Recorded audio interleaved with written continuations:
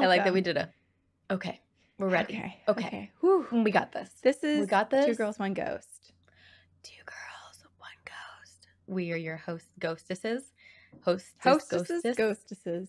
Whenever I think of hostesses, I think of the hostess treats. Oh, yeah. I guess like those little. I think sp- I'm like trying to think of all of the different hostess treats. Is the hostess?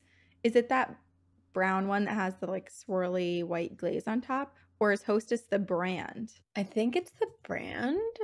Yeah, it's the brand because there's a bunch of there's like ho hos, Twinkies, yes, ding dongs. What a what Ding strange names, ding dongs. I freaking loved ding dongs. So all of them. Well, we are your ding dongs. That's Ding-dong. Hi. I'm Sabrina. Hello. Hello. Just so everyone knows, I'm recording. I've been like a record on the road type of gal, so I'm like wherever You're I can find a spot. I'm a recording nomad.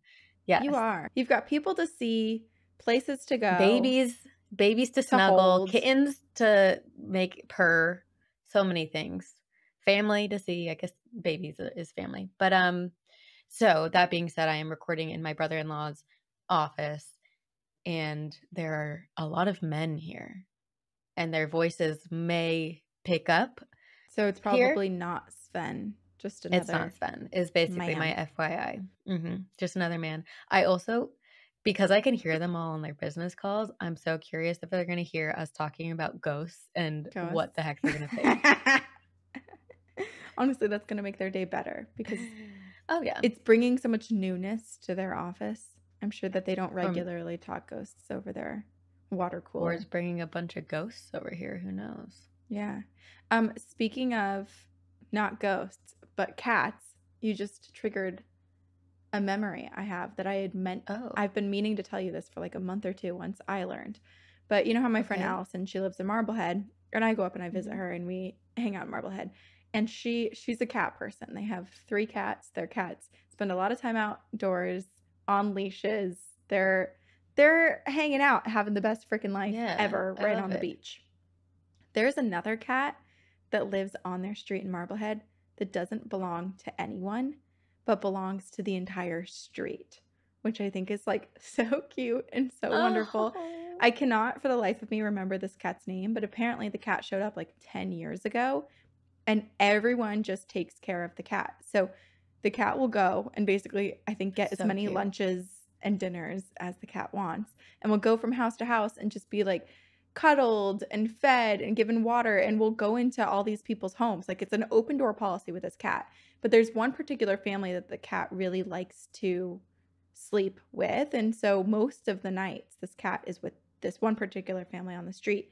But if they go out of town, the cat has like ranked his favorites for who to go to next. Like, ugh, my main family at night isn't here. So I'll just go knock on this person's door. And so everyone just collectively has a cat on this one street in Stop. Marblehead, right by the ocean. And I was You know like, what? this is This- Sabrina's dream. to be that cat for sure. But um, also, this just proves that cats are so freaking smart and Mhm. this cat is living the life and has manipulated in the best way and trained all of the humans on this street and is thriving. Like he's the king of the court. And it's just a known thing. Like when Allison and and her boyfriend had moved in there, they were just basically introed to the cat, and all the neighbors. A new were like, neighbor. it's your cat now too. What's his name? I can't remember. Should I text her and ask her, Sure. and then maybe we'll find it. out halfway through the this Yeah. episode? Let me ask. Stay tuned. Basically, that's our. You have to listen to the whole episode to find out where what the name of the cat is, because I know you're all so invested now. I was okay, so I feel like we've been doing so many collabs and crossovers that we might have some new listeners, and I just wanted to say welcome, hello. Welcome. We apologize in advance because it is very likely that at some point during your listening experience, you will meet Sven or, our resident ghost. yes, Sven encompasses all spirits who come to visit our podcast. We like to think Sven is the nicest. Um, and then the dark things we don't take credit for at all. We're so sorry. But there's a chance you may get haunted. We just recently had one of our most recent reviews was I love this podcast so much, but things started happening and I'm so sad that I cannot listen anymore. Shoot. Honestly, though, that we get it and that makes sense. And sometimes people have to take breaks, but our expectation and our hope is that you come back. But we understand if you need to take like a three, five month break because activity is picking up. Unfortunately for us, well, fortunately and unfortunately, um, we don't take breaks, but we pivot topics when things get a little too active. That's when we start to incorporate some of the like fluffier, kinder, warmer stories. That's when you start to, to incorporate the, the fluffier, warmer stories. Yes. Not me. Yes, that's when I when I say I'm 50% of Two Girls One Ghost and I will not continue with the darkness for the next 2 weeks. So I need a freaking break. We're, we're each 33%. Sven. Sven is because... although Sven is not listed on our business title, yeah. so maybe that's where some of the hauntings come from. Just like a little bit of like, oh, hey, what about me? I'm literally in the title. Because last October was definitely our one of our scarier haunted experiences. And then when I talked about La Llorona, that one freaked me out oh. a bunch because suddenly all the pipes in my apartment started making all these noises and I would like hear the dripping faucets and it happened for like 2 or 3 days. And then you had one which I don't even know do you remember what the topic was that you started to research and then you had past to lives stop? It was so this lives? yes, we we brought this up with what can I say? Who we did a crossover with or should I wait? Sure, it's coming out. Okay, when we just recorded with National Park After Dark, Danielle and Cassie, which we're super excited for everyone to hear that one. It comes out August 1st, I believe. Yeah. Um, yeah. We recorded very early because they've got a lot going yeah. on. Summer's happening all over the place. Yeah, they have so many cool yes. trips that they're going on. So August. Yes. You'll hear that. But I had forgotten about this until we recorded with them because we were talking about, I can't remember how it came up, but early days. This is maybe one the our first year of the podcast. We did an episode about past lives and I had researched, I was ready to go. We set up to record and I just like in the hour leading up to recording, I got bad vibes. Like I just had not even bad vibes, but more of like I felt like you know when you have when you're super empathetic and you just take on the feelings and emotions of people around you. I felt that and it was a heaviness and it was a sadness and my gut was just like I think it's related to this story. I don't So you were researching it. one particular past life story. It wasn't just like a mm-hmm. compilation. Mm-hmm. It was one person. One person. Yeah. And so I had to say, "Hey Corinne, I know we were about to record, but uh can uh we do it tomorrow because I need to re-research what yeah. I picked." I am so curious to what caused that for you. Like was it I don't know. This person's soul or like something that chipped off of them that was ready to hear you talk about this sort of thing? Or was there something else kind of like lurking and lingering? I don't know. Well, because I don't know what the story was about. I don't know who you were covering. I forget to be honest. I think it was a woman, but yeah, I don't I don't know. I don't remember and it, yeah, it could be very possible. I lived in a complex with a lot of people. Like I could have been picking up on something else. Who knows? I really, I really don't. Um, but I think it was early enough in It our... really does rattle you though when you have that sort of. It's almost like an intrusive feeling instead of an intrusive thought. Like when you absorb somebody else's emotions and it's really uncomfortable and it's really hard to shake. It always makes me feel ill when it happens yeah. to me. Yeah, yeah, and then you don't know how to deal with it because it's not yours. Right. You're like, I can't yeah, what do you even do? Like, there's nothing to work through. There's no one to call to say, yeah. like, I'm sorry, we broke up. I just know that someone broke up, like, uh, yeah, or something. I don't know, know, Maybe like, just take a shower and give it to the water because that's supposed to be cleansing. To the water. Maybe give it to the water. Yeah. Anyway, this is all to say. Um, we apologize if you're new and you do get haunted, but we hope you keep coming back. And we we've had YouTube for now a year, and I feel like we haven't done a ton of marketing or like promoting it. So, hey, if you want to see what we're wearing, because I'm wearing my overalls, and you know how I love overalls, um, you can go check us out on YouTube and watch all of our episodes. We've been doing it for a year, so you can see our faces. You can see us react to things. Um, you can see our eyes dart back and forth as we read things off of our computer. I don't know. It's fun. Take a sip of tea every time I touch my face, which is you're going to have a gallon of tea by the end. So, if anyone's struggling with drinking enough water, that's a fun game. I'm also curious if people see anything behind us while we're recording. Oh. Well, the fires in Canada are roaring. So if anyone sees anything outside of our windows at this moment, unfortunately, I think it's going to be smoke because it is coming down the East Coast and it is bad to be outside. It's like so it's yellow and hazy and smoky outside. I can only imagine what it's like for all those poor people who are experiencing it like in their own homes because yesterday when I walked outside, my lungs, I mean, I didn't realize that there were fires even going on at the time.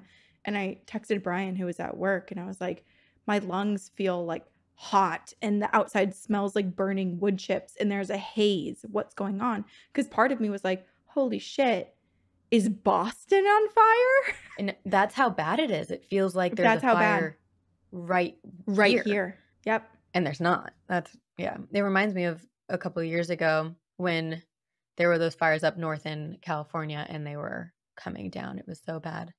Um awful. But well, here we are. I'm so excited. This is a two-parter. Mm-hmm. And I've been mm-hmm. I've been holding this one in my back seat for a while. I feel like I love doing two-parters and this one could have been like a 18-parter because really yeah. what I'm doing is I'm focusing on some hauntings in Boston and Boston is Yay. old and it is haunted and there are so many spots. There are places that I have lived, there are places that I frequent, and there's just skeletons in our back doors every everywhere Literally. here. Yes. In your backyard, under the backyard, ground, probably in the everywhere. In the frames of some houses, I'm sure there's people, people stashed away in, in the, the cellars, brick walls. Yes, no, yeah. seriously. I mean, you've got you've freaking haunted. You've got history, you've got the mob, like Whitey Bulger and all of that going on. There's just it's beyond just being one of like the earliest settled places. And then also going dating back it's to native tribes. Historic. Yeah. Yeah. There's so much so here. Much. And I feel like also we started the podcast when I moved back to Boston. And I feel like those two things happening at the same time simultaneously reignited or not even reignited ignited because it had never been an interest in the past my love of history and so now i love history and i get to see it everywhere when i walk around and we get to research places every single week on this podcast and so i just feel like a huge place in my heart for boston and so on this episode i'm going to focus on uh, one particular area and then we'll move very close to that area in the next episode. Oh, okay. So, if you've ever been to Boston, Massachusetts, chances are you've walked through America's oldest city park, which is Boston Common, which Sabrina, you have walked through many times, so you know exactly where I'm going to be talking about. You know what makes me really happy about this episode is I visited you in Boston a couple times now, and every time I have you take me on like the same little haunted tour and we go through like the same spots because so you know you are the of, best. Actually, you're gonna know all of these spots that I'm gonna talk about too. But I never get sick of it, and I'm so excited that everyone else gets to experience it. Just close your eyes, imagine Corinne holding your hand and excitedly showing you all these spots, eyes wide. Can't wait to tell you about deaths and hauntings and burials because it's a it's the best thing you can ever do. Sabrina, I have a new business idea for us. And this one I suddenly oh. feel extremely passionate about, and I'm going to be pissed if anyone copies us before we're able to what is make it? this happen. I think that we should create some sort of virtual AI creation of ourselves where we people can use their like cell phones or whatever and when they're going through different places, haunted places, different cities, different towns, we pop up as like a person and is like, here's what's happening here. And then we walk and like they follow us. Like we're our own little avatar that's pre-programmed to bring people on haunted tours. And everyone I already have a voice. I already I have. I hear it. Hey, follow me. I'm going to show you this haunted place. Let's go.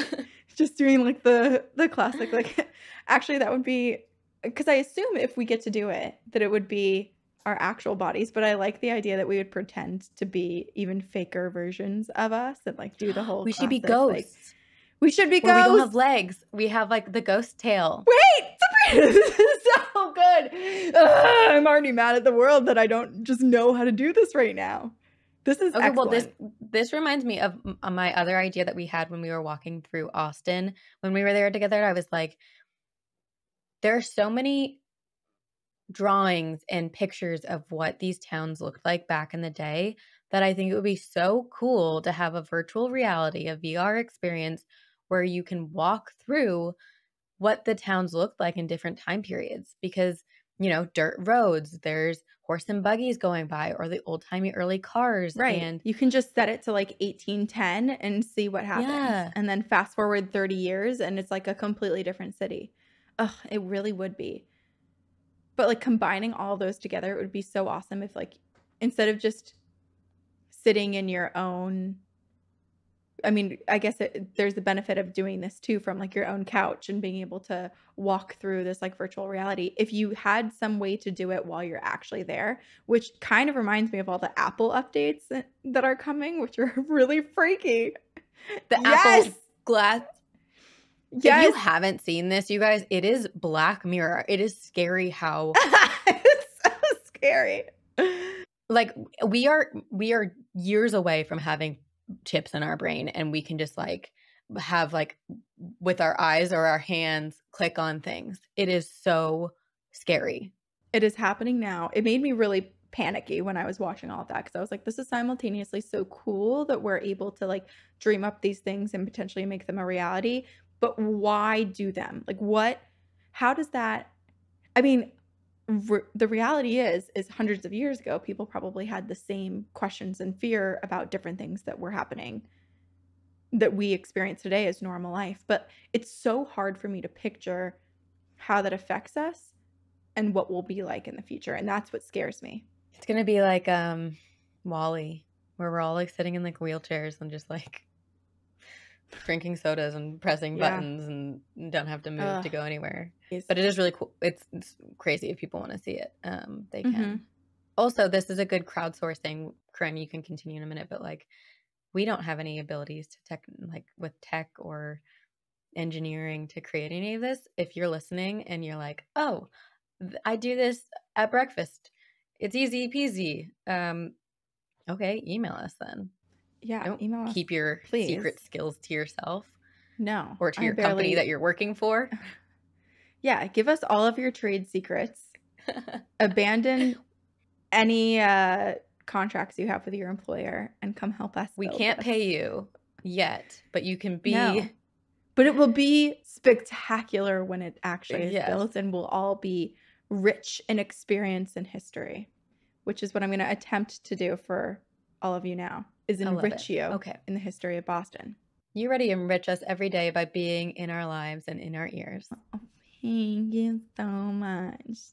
All right, I'll shut Okay. up now. Continue. No, Sabrina, how about you present the?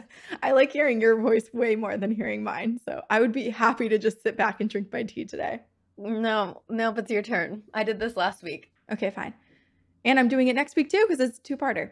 You chose it. I know. I can't complain. I'm not complaining.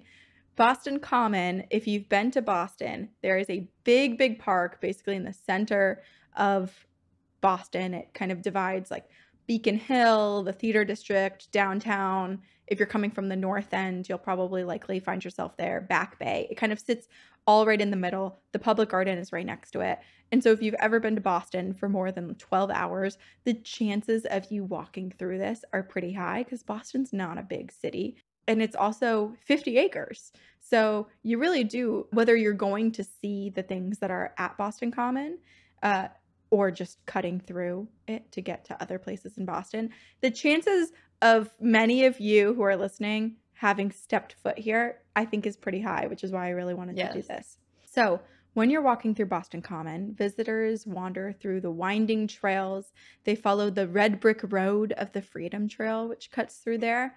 And you can also admire some of the beautiful things. There's a carousel for kids to play on, there's lemonade stands, there's amazing views from Frog Pond, which little kids play in in the summer. And in the winter, they turn it into an ice skating rink, which is super fun. So cool. So cool. There's many monuments, there's just different places where people post up to just hang out, picnic beneath the shady trees, play frisbee by the slope of the hill, let their dogs off leash to frolic around with other city pooches. And there's also a lot of, I guess, like rallies and political speeches and things that happen here too. So it's a it's a big place for people to gather, whether for leisure or to be a tourist or for uh, other various reasons. But as people are wandering through here, what most people don't realize is that they're walking above dead bodies, potentially thousands Cool, of cool. them. Cool, cool, cool, cool, cool, cool, cool. Mhm. Okay, let's back up. History lessons now. In the early 1600s, Boston Common was a farm owned by William Blackston, also spelled Blackstone in some accounts, but I'm going to call him Blackston. He was the first European settler in Boston. William Blackston had arrived to Weymouth, Massachusetts in 1623, and he moved from Weymouth up north a few miles to what we now know to be Boston. And at the time, Boston was mostly mud flats. It was super swampy. It was like a little peninsula. There were some natural springs, rock bulges. It was just like super, super beautiful. And William was struck by its beauty and, and by all of the land. And let's remember that there were a lot of native people who lived here first. And so he was the one white guy, and he was like, This is great. And he lived there for five years before writing to Isaac Johnson about how perfect this would be for a settlement. And Isaac is listening and he's like, Oh, I do think that this sounds like a great idea. So he brings a group up to the area and they settle in what we now know to be Charlestown, which Sabrina, you've also been to Charlestown. Where was Isaac before this? They're all in, oh, so, well, they all came from England, but I'm pretty Right, right. sure they were all chilling kind of more within the like Weymouth, Massachusetts to Rhode Island section. Okay. Okay. And so people were starting to like migrate up north, eventually getting Right. to like Maine and all of those areas. Because take more land was their motto. Yes, it was. Super unfortunate. yeah. I don't know what else to say. It sucks. Uh, we, we're all aware here of how Yeah. um, we know. horrendous some of the early or all of the early settlements were, and that it was not necessarily a we're friendly. It was more of like get out. We want this now. Yes. Greed. Yeah. And so, I mean, whether William Blackston told Isaac about this area of Boston or not, it would have happened because that's just what was happening. Everyone was hmm migrating north, south, west, and just kind of taking over, colonizing America. So before Isaac died in 1630, his dying wish was for the settlement that was across the river, because he settled in Charlestown, but across the river, the area where Blackston lived, he really wanted it to be named Boston after his hometown in England. That's nice that he, it wasn't like named after him. No, no, it was just it was a it was named very lovingly after a place that he loved and cared about and he saw how beautiful it was here and felt a connection to it and so he named it Boston because it reminded him of just like all of the the good things and loving things in his life, I guess. But within this deal, I guess, when Isaac's dying breath essentially was to name this place Boston, William Blackston, who was the one who told Isaac to come here, he was like, oh, okay, well, I feel like there's going to be more attention coming here now and there's more people moving here. So I would like to negotiate a deal here and be granted 50 acres of this newly named Boston to keep for myself because I've been living here for a long time and I don't want to lose all my land and all the beauty and all the vastness of this space. At the time, 50 acres was 10% of that whole entire area. So it was a large, large amount because Boston, remember, was just a little bit of a peninsula. So now I'm going to give a little bit more of a history lesson. We've turned into a history and horror and haunts podcast. We have. And I love it. I guess we've always been that way, but I think it's been more, we've really, really become history buffs.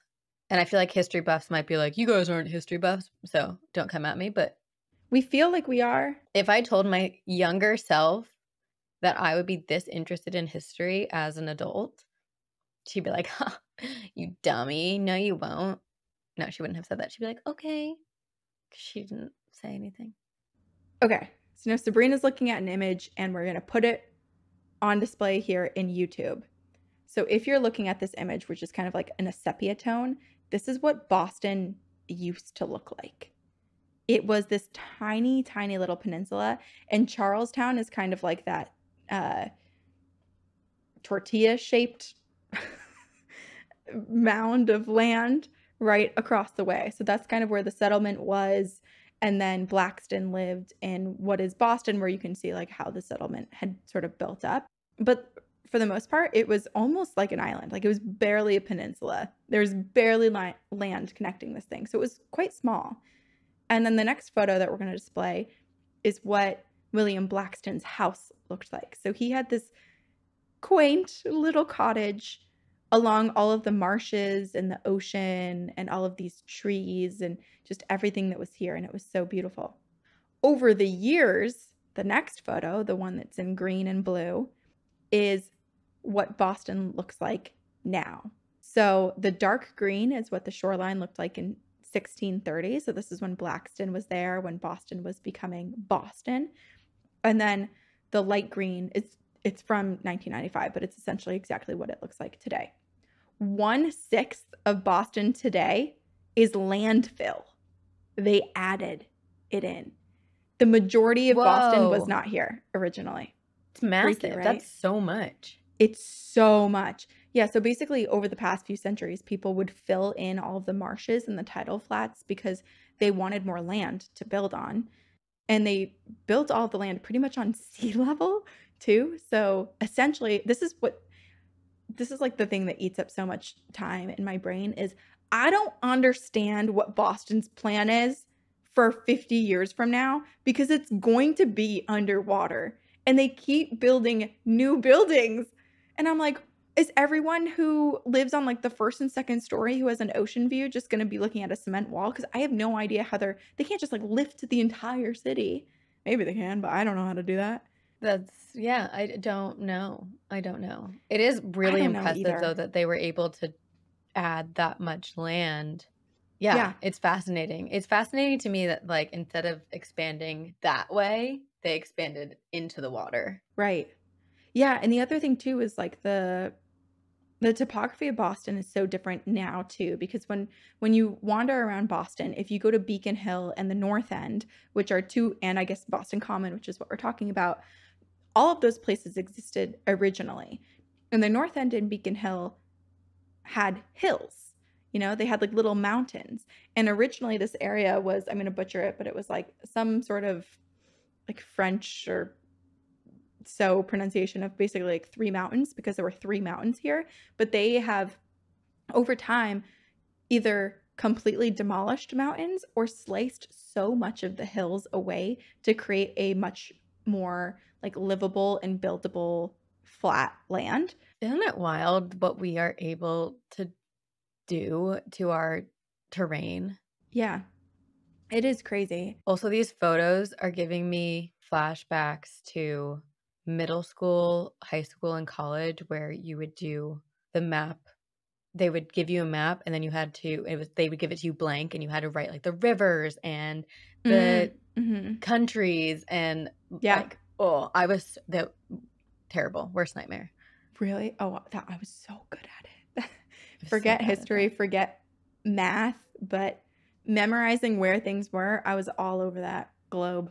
Wow. Okay, but for Impressive. people who live in Boston or have been to Boston, if you live in Back Bay or Seaport, those things, you're on fully on top of landfill. That did not exist. Basically, in a morbid way, you're going underwater. You're going underwater. And back then, 10% wasn't, now knowing how much bigger Boston is, despite it still being a very small city, 10% wasn't a ton of land, but it was still a lot for what the space was. So Blackston had negotiated this deal, got 10% of the land, around 50 or so acres. And unfortunately for Blackston, just three years later, the 4,000 Puritan citizens who now took up shop in Boston said, Ooh, we don't think it's very cool for anyone to own that much land. So let's make the ownership of that much land untenable. Let's make your life miserable. Let's peer pressure the crap out of you until you give us your land. So basically, the Anglican pastor Blackston, who did not vibe with the Puritans, he was bullied into selling back 44 of his 50 acres to the Puritans for what would be in today's money $5,500. That's it? Yeah. it was like nothing. upsetting. Oh, poor guy. I was expecting it to be like $3 million. Yeah. No. No. Hmm. He lost a lot of land for barely anything. The land quickly was turned into the town commons. So it was a place for the 4,000 plus residents to gather together. It was a place for them to also let their cattle graze for the next two centuries. So basically, people would have so cool. a bunch of cattle, they'd just like let them freely go and graze. Eventually, there were restrictions on the cattle um, that I was reading about because a lot of the richer people would come in and they'd have like 70 cattle that they'd let loose and the amount of space that were on the common like could not sustain that many cattle eating. And so there were limits on how many cattle could be in there eventually. But it was just a, a an important place for everyone to kind of gather together. And also important to note is the colony grew over decades. And because they're growing and because their infrastructure isn't what it is today the Charles Street side of Boston Common, which is where I basically lived right there in in uh, Beacon Hill up on the hill. That side of Boston Common was the unofficial dumping ground because it was the lowest, flattest part of the area. And so people would just basically put all of the like gross, rotting food and items and all of their own feces over there. And it was, quote, a moist stew that reeked and that was a mess to walk over. A moist stew. Yeah, gross. So gross. And apparently it became, Or, or it remained a kind of a moist, gross stew until 1895. Yuck. No. anyway. Wow. Okay. Blackston was pissed. He did not get along with these people and he was like, whatever, fine, I'm out. Gave away his 44 acres of the 50 acres. And then he moved himself 35 miles south and became the first European settler. Again, the first white man. He's really paving the way, uh, heading to this one particular area of Rhode Island. So he was just roaming around there. He was hoping to just quietly settle on some land. Um, he also, so it was said, which we know history is rewritten, so I don't know how much truth there is to this, but apparently he was very good friends and very friendly with the native groups there and the individuals in that area. So he was the one person that kind of moved in, but they all lived really peacefully together. Um, I don't know if that's true. Yeah, yeah. You hope it's true. I hope it's true too. His life sounded pretty sweet. He would just tend to his cattle, he would garden. He even cultivated the first variety of American apple, which is called the yellow sweeting. And he had the largest library of the colonists at the time. So he just like he was a scholar. He was a scholar. He just like lived peacefully in his little cabin in Rhode Island. Uh, but then his property was burned down during the King Philip's War. So it doesn't exist anymore. But King Philip's War, perfect segue back to Boston Common. We have talked about the King Philip's War a few times, but the very extremely, extremely quick version of events is that essentially native tribes and colonists had a sort of deal in place and the colonists kept violating the alliance that they had with the native people. So tensions rose, and soon there was a full on war between the colonists and the native tribes in New England. It lasted just under three years. It is the deadliest war in colonial American history, killing about 30% of the colonists, wiping out many of the native tribes, killing hundreds of them, and enslaving a majority of others. So it was absolutely devastating. Boston saw some And bloodshed. just like and a lot of New England. did. Yeah. Didn't they put the native tribe, the leader, his head on a stake? on a stick. Yes, they did. They what did. was his name? So I can. I'm gonna butcher all of this history, but I'm pretty sure it was like his dad was Oh, the one that was like kind Philip. of It main- King Philip. Oh, King Philip. Yes. King Philip. Yeah, King Philip's War. Because his dad was maintaining ten- maintaining the tensions kind of was like trying to appease everybody. And then when his dad passed and King Philip came into into power, wasn't he the one that was like I'm butchering this, but I think he was the one that was like, no, we're not taking this bullshit. Which and is he stood fair. up like for them. Yeah. Yeah. They were just being walked all over. And I also can't remember why, because his name isn't Philip, but it became Philip. And I can't remember the reason why. Let's see. Metacomet. Yeah, that was his name. Metacomet. Yeah, so it was Adopted just a his English devastating- name. So it was a name given to him by the settlers. Okay, there we go. See, it just wasn't was obviously a very very bloody event, and it stretched far outside of Boston. It was in Rhode Island, it was in Maine, it was in Connecticut, it was all over New England. There's a map you can look at too online to see kind of like all of the native tribes and everyone who was affected, all of the land, and it's expansive. So, Boston was one of the places that there were tensions and that war took place during this time. Tantamous was a very well known Native American Nipmuc leader, and he was also a spiritual healer. And during the war, colonists forced him and his family to Deer Island, where he had previously given this rebellious speech that was obviously against the colonists, right? And so the colonists were like, You were mean to us. And so they grabbed all of his family and him and they marched him to Deer Island, which I can literally see. I, I could I wish I could just like easily turn my computer and like zoom in on the screen so everyone could see it, but I'm staring at Deer Island right now.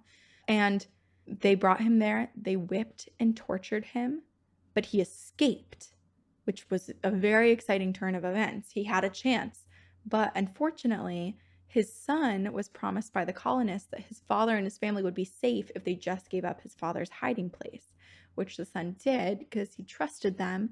And Lord knows what other horrible things they did to get this information out of this poor boy. When the colonists found Tantamous, they placed this is graphic. They placed a noose around his neck. They marched him publicly down the street all the way to Boston Common to a large tree which is over a century old called the Great Elm. And it was said that this elm had been planted a century before for prosperity, which is very ironic given the role that this tree is about to play for us in this story over the next two centuries. Does this tree still stand? No, it does not. Okay, good. Good. Here he was hung and left for others to see. His family was then taken and sold into slavery. And during this time in colonial era, public executions were a sort of sick entertainment for people and large large crowds would gather to watch other people being murdered. So Tantamous and 44 other Native Americans were publicly executed by hanging on the Great Elm during this war. And it can be assumed that each execution drew a crowd. I'm really curious because, uh, you know, I think for a really long time in history, hangings were like a public thing that people came to. And yeah, it seemed like it was a source of entertainment in a way. But I do I mean, think about like the wonder- Colosseum in like ancient Rome Yeah. too. I do wonder though if there were people who were just like, this is horrendous. Why are we doing this? And if there was this expectation that you had to go, Yeah. and if you weren't there, there was something wrong with you. I know that is an interesting thought because it's like, is it human nature to be fascinated with those things? Is it conditioned? Are we repulsed? But is there something that pulls us even closer to the event because of the repulsion? Like, what did those Yeah. people experience? How many people were ill watching that and refused to go versus the people who were like, let's go have tea in the park and watch four men be hung? Yeah, I don't know. It's so hard to know because my mind, and again, like this is probably societal, and because I was raised learning how horrific this is, that I'm like, absolutely not. I could never imagine myself if that were publicly a thing that still happened. I could never imagine doing that. And imagine how different it would be if you were young, though, and witnessed all those things, and you were four years old and it was a normal part of your upbringing. Right. But then at the same time, think about our society and our fascination with true crime and murder and like the amount of documentaries and hmm I guess maybe we're not like fully witnessing someone be killed, but we're still fascinated by it. It's the morbid curiosity. It Yeah. exists within us. Okay, so at the time, a large majority of the population in Boston were Puritans. Now, the Puritans themselves were a reformed religious group that we've talked about before. They previously belonged to the Church of England, and they basically were like, ugh, this church that we belong to, it feels too similar to Roman Catholicism. We think we should eliminate the ceremonies. We should eliminate any practices that aren't rooted in the Bible. We should have a lot more like strict rules and and live a very very specific way. And so really the Puritans, a lot of them that was like a motivating force for them to come and colonize. Basically, I was reading somewhere someone said like the thing people aren't talking about is that America was founded by a group of like religious fanatics. Yeah. and it's true. It's true. I mean, I guess kind of everywhere was like religion has played such a controversial role in history. And there was also such a desire to be like, I mean, this is why the Revolutionary War occurred, right? Like it was like, a, oh, well, I'm doing all of this. And so I want to have a unique take and I want to be different from where I came from. And that causes tensions. I'm pretty sure like the English accent or American accent came because they wanted to sound different than where they came from. I've heard that too. So they gave themselves like a new twang basically to Yeah. to be different. Yeah. I, someone else can fact check that, but They were all in their Madonna era. yeah. what if I just start talking in a weird way, like just to? it's hard to not adopt other people's accents. Like do you find that like when you're around someone with like a Oh, southern one drawl or oh, yeah, I find myself very quickly starting to imitate them. It's hard to get yourself Yeah, out of it. I'm like, it's what so even is my accent? Like, what is my voice beside aside from a reflection of everyone around me? I don't know. I'm a, I'm a parrot. Okay, so the Puritans themselves, they were these reformed religious members, previously part of the Church of England. They ha- came with Amer- came to America with all of these ideas of how to live, and so they themselves once evolved from their roots and and were hmm trying to make a name for themselves. And yes, they could not, and yet they could not be less accepting of other offshoots of Protestantism uh, specifically those who followed the religious society of friends, those that we call Quakers. So, some differences here between Puritans and Quakers. Puritans thought that certain people were chosen by God for salvation and that humans are hopelessly sinful. Quakers believed God is inside everyone and you could talk directly to God and Jesus if you wanted to. Everybody had an inner light. So basically the Puritans were like, no, there's specific people who who can preach the word and and are prophetic. And Quakers were like, no, I think all of us can pray and, and speak directly to our source and our savior. Puritans had very rigid rules and laws about who they were, uh, what you could practice, what you could believe, which included strict gender roles. Whereas Quakers had religious freedom, they promoted the separation of church and state, they believed in equality, they supported everyone, especially the Native Americans, and women could also be preachers. So they could not be more different, though offshoots basically of the same religion. Right. The Puritans thought the Quakers' way of life was absolute blasphemy. They were a danger to society. So, what did they do? They enacted several laws against Quakers and then they tortured and killed them. Massachusetts was the most active state in New England to do so. Quakers were put in stock and pillory. So I'm going to display a photo, and Sabrina, you have a photo right now too. So, stock and pillory are the two devices that are these wooden contraptions where people were basically locked in.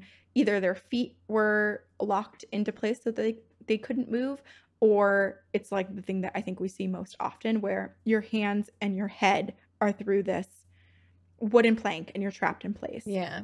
I don't understand why the one photo of the man is like Con- pensive, he's, thinking. he's he's in timeout. He's contemplating his choices. Is he contemplating his Why are we so horrendous as a species? Like what? I don't know. And it's so bizarre too, these depictions of people like that. The one, the photo that you're referencing, it's like this guy who has all of the buttons perfectly done on his pants and his jacket, and he's wearing his wig and he has his shiny little loafers on, and he's like trying to present to society as this person maybe who has it together. And yet he's about to be brutally tortured by fellow human beings. It's it's hard to wrap my mind around us being able to do all of that at once that it, these things aren't mutually exclusive. But so the puritans they would grab these quakers and they'd be like you think different than me? Nah and they would whip them with these three corded and knotted whips. They would fine the quakers imprison the quakers mutilate them banish them kill them. A few examples of this and these are not good so if you don't want to hear them skip forward a few minutes, but just north of Boston, there were three Quaker women who were preaching in the seacoast of New Hampshire. They were arrested by the Puritans and they were sentenced to walk naked down to the waist, which was a common thing for them to do to women was to basically like strip them so that their chest, their breasts were exposed to embarrass them. Like Game of Thrones. Yeah, and they would make them walk the 80 miles in the middle of winter from the seacoast of New Barefoot, Hampshire. right? Uh, I don't know if these specific women were, but Right. I know that they were stripped. They were tied to the back of a cart. They were whipped publicly, and basically, they would every time they passed through a town, they would cause a lot of commotion. The the Puritans would, so that people would come out and get to witness the embarrassment of these Quakers, these women. I'm just picturing that scene in Game of Thrones. They're like shame, shame, and like people are throwing vegetables. I'm sure it was very similar. their moist stew at. Oh, they're Like, moist it's just- stew. That's what I'm gonna say now. Sorry, I gotta go deal with some moist stew. Yeah. Or like when you come out of the bathroom, you're like, ooh, instead of saying like give it a beat, you're like, there's some moist stew in there. You might wanna I wanna wait. you might get some very confused looks. yeah. People are running in like, what? There's stew? No. Ew. Different kind of stew, my friend. no. Gardy Lou. Gardyloo! Eventually, these women were rescued by a Quaker who was living in Maine over in Kittery, which is where my fake ID was from when I was underage, um, and protected. Similar to, to these women, Herodias Gardiner was a Quaker woman who was stripped down to the waist and made to walk 60 miles home to Weymouth, Massachusetts. She had an infant at the time and she walked the entire way, at least from what I could see in the reports, walked the entire way holding her infant and continuing to like feed and breastfeed her infant when her child needed to, all while being tortured and publicly humiliated for 60 miles. I just give me chills. But some people were never rescued, and some people never made it home. Enter Mary Dyer. Mary had lived in Boston and had a traumatic event happen to her. She gave birth to a stillborn child that had many defects. And so this child was stillborn, and if it hadn't been, it probably wouldn't have lived very long either, based on what I was seeing written about this child. And so it was really, really devastating to her. It was absolutely heartbreaking to her and her husband. And so she had to bury this child in secrecy because there was a lot going on at the time and basically having given birth to this child in the way that she did and and with the defects that this child had it would have been basically bad news for her people would have viewed her as doing something wrong you know like we're coming up on witch trial era Witch trials, right? yeah Right. so she buried this child in secrecy. However, the society that she lived in in Boston found out and she was viewed as a monster. After a decade of hardship and of being a societal outcast, she was tried and banished for her crimes, which was basically having a stillborn child. Stillborn, which she had no control over. No, no. Can you imagine? I can't. I can't. This How reminds me of The Witch, just series of events. Yeah. Yes. Yeah, you're right. because that's also very religious based. It was, Yeah. I think, the family's kicked out for not having the same religious Mhm. views. Totally. And it's set in the same exact era as what happened right here with Mary Dyer. hmm Uh, so she was banished from Massachusetts for both having a stillborn and for her beliefs because she was not fully bought into the Puritan beliefs. So she originally headed to Rhode Island where she lived for a little bit. And then she boarded a ship and she headed to England. She stayed back in England for five years. And it was here that she was hard introed and converted to Quakerism. She received the What does that mean? ministry. Hard it was introed. sorry, I just meant like she was introduced to Quakerism, Oh. like got like a crash Okay. course. I think I'm using Gotcha. like Gen Z slang. I spent too much that- time on TikTok. Is that like a hard- A hard intro. Yeah. I've heard it a Man. lot, but maybe it is Gen Z. I don't know. Yeah, basically it's like getting a crash course. Like you're fully exposed to something very quickly. Okay, this episode, for so many reasons, is just making me contemplate life in a pretty morbid way. And I'm really glad I have therapy after this. So I'm so sorry. It's not your fault. It's more of just, it's just more humanity. I'm just like, Yeah. yeah. I love how we came into this episode with so much enthusiasm. Like, yeah, Boston, so much history. It's so rich in stories and fascinating. And now we're like, this is super depressing and very sad. But you'll get to ghost stories and all of that. Oh, I will. Is, yeah, probably still depressing, but more exciting in a way. right. And also, let's remember this isn't just a full on Boston episode. I am focusing on Boston Common specifically and the stories that are tied to that. And so, unfortunately, there's a lot of sadness that happened specifically at Boston Common. So, Mary Dyer, she's a Quaker now. It was said that she was given the gift of ministry um, and she returns to Boston.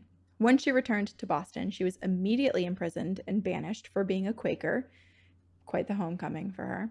Why'd And she come? time- Why'd she come back? That's my question. She she had a very determined spirit where I think she was like no one can tell me what to do.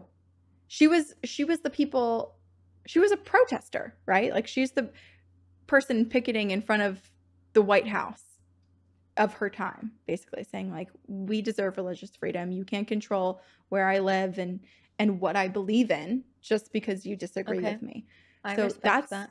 yeah she she took on that role and she was confident and comfortable being in that role um and so she did go back to boston and every time she was released from jail she would be banished. She would return and then she'd be imprisoned again. And eventually the puritans are like okay we know a way to banish you mary dyer for good and that is to kill you.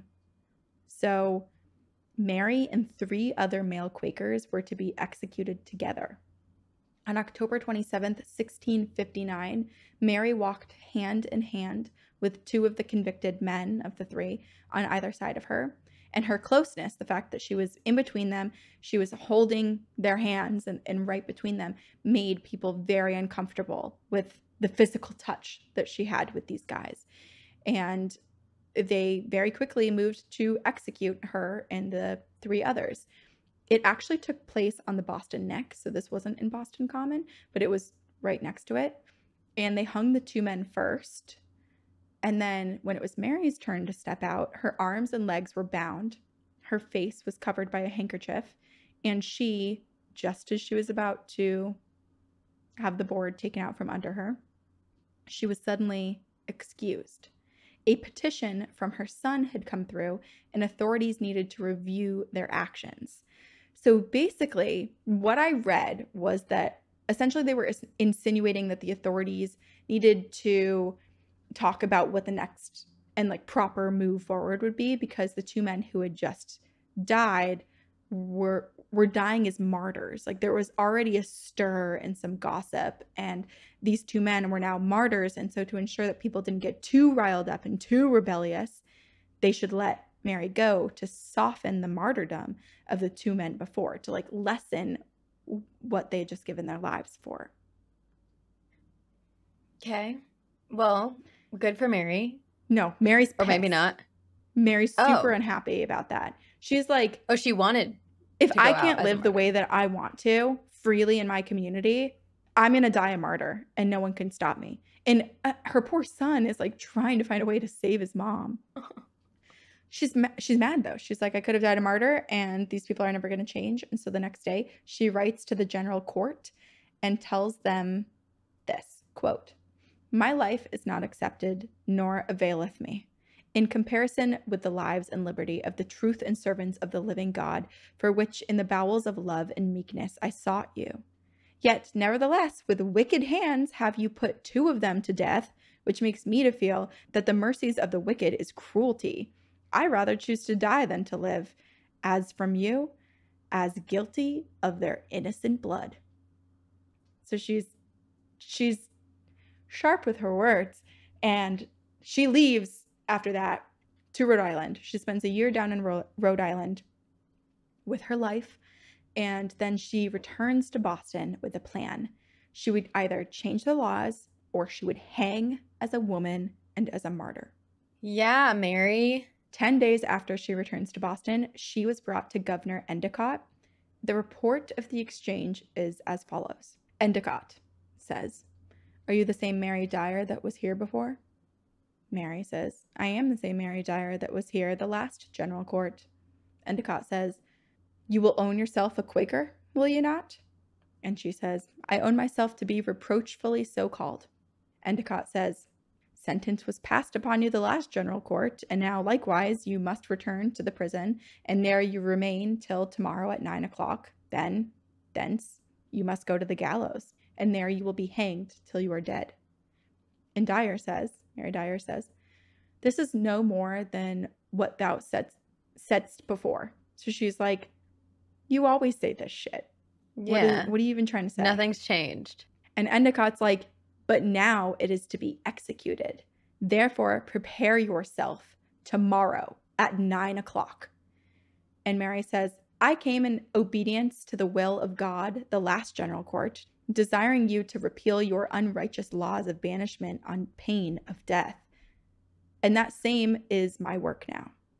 An earnest request, although I told you that if you refuse to repeal them, the Lord would send others of his servants to witness against them. So she's basically she's like you're the evil dickhead and every you believe in God, he's watching you. Wow. And it is said that then he asked Mary Dyer if she was a prophetess, in which she responded uh, that the Lord did speak to her, and she began to speak. She began to to say what she heard, what was coming through her from her connection with God, and he yelled, "Away with her! Away with her!" She was put in jail, and on June 1st, 1660, she was brought to the gallows to the great elm tree in Boston Common, though there were some reports that she too was killed on the Boston Neck, but most of them say Boston Common. Um, and she was asked one last time if she would comply, if she would save herself, and she refused. So she died a martyr. There's a statue in her honor that has been erected in the State House lawn, the Boston or Massachusetts State House, looking out onto the Boston Common. Oh. Wait, okay. Didn't we aren't they putting up a monument of some kind where the tree was in Boston Common? That's what we thought because remember there was all that construction when we were going by because we were trying to like see where the plaque was, where the elm tree had Yeah. been. They're doing something. I don't know because I certain. remember you Yeah, were telling me There about was a this s- tree, which is why I thought it was still there. But you're right. Yeah. yeah. There is a statue now, like an art installation of someone who's like holding themselves and like basically like weeping and crying. And I have no idea if it's like to honor what had happened there or not. I should look that up. But yeah, they were they were putting something up when we were there because we were trying to go see the spot. So her statue's there looking out onto the commons, and people have heard eerie sounds come from this general area, and they see a woman in Puritan clothing that a lot of people believe could be Mary Dyer. Mm-hmm.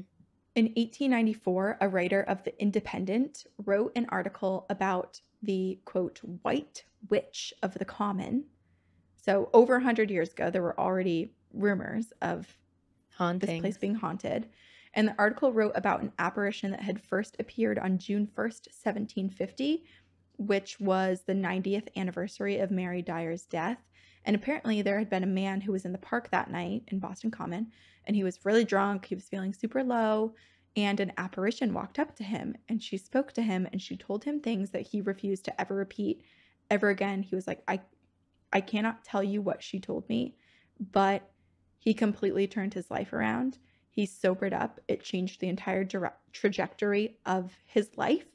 And so a lot of people believe that this was the spirit of Mary Dyer because it would make sense her beliefs, her Quakerism, uh, her basically speaking from God and being a bit of like a, a prophet, a minister of, of sorts.